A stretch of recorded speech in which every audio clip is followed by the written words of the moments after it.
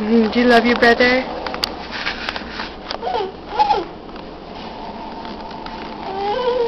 Did you put a bracelet on his wrist?